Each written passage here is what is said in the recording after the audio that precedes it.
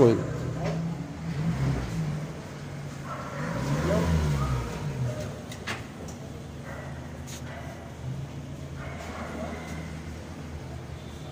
السلام علیکم ورحمۃ اللہ وبرکاتہ۔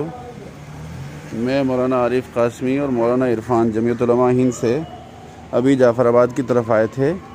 جیسے ہم نے موجپور پار کیا تو ہماری گاڑی D L three C B S zero آٹھ سو باسٹھ پر حملہ کر دیا۔ ہمیں بھی کافی چوٹ آئی ہوئی ہیں۔ اور ابھی جیسے ہی ہم لوگ آئے ہیں تو ہمارے اوپر جو ڈنڈا اور وہ سب لاٹھی چارج، وہ کیا نام، جو عوام ہے انہوں نے ہمارے اوپر حملہ کیا، پتھر برسائے اور ہماری گاڑی کو پورا تہس نہس کر دیا ہے۔ چاروں طرف سے گاڑی توڑ دی ہے اور ہماری پوری طریقے سے پٹائی کری ہے۔ بڑی مشکل سے ہم نے جان بچا کر کے ہم گوکل پوری تھانے میں اس وقت موجود ہیں، جو حضرات بھی ہماری سیکیورٹی کے لیے میں Maulana Arif Qasmi All India Imam Foundation سے، اور جمعیت علماء ہند کی ٹیم آئی تھی، یہ دیکھنے کے لیے کہ حالات کیسے ہیں، کچھ لوگوں کی موت ہو گئی تھی۔ تو اسی سلسلے میں ہم لوگ یہاں آئے تھے، جس میں ہمارے اوپر حملہ کر دیا گیا ہے۔ بہت بری طریقے سے ہم گھائل ہیں۔